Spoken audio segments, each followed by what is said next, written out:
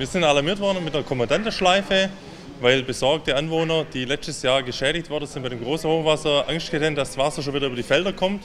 Das haben wir angeschaut und war noch ein ganz kleiner See, also kein Vergleich zu letztem Jahr.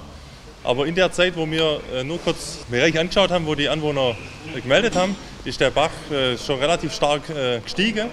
Und das war dann schon ein Bereich, wo unsere erste Maßnahme von der Feuerwehr einmal laufen, damit wir die Anwohner informieren, dass hier Hochwasser droht, unser eigenes Gebäude jetzt äh, abgesichert und uns darauf vorbereitet, wenn es weiter regnen sollte, dass wir dann dementsprechend schnell eingreifen können. Kurz vor 1,30 Meter sind wir jetzt, 1,28 Meter, 1,30 Meter. Ähm, die kritische Stelle kommt bei 1,45. Dann fängt er an, an die Brücke anzuschlagen und dann ist die Leistungsfähigkeit der Brücke erreicht und dann kommt das Wasser irgendwann raus. Sobald das Wasser an der Brücke ansteigt, wird die Hauptstraße gesperrt.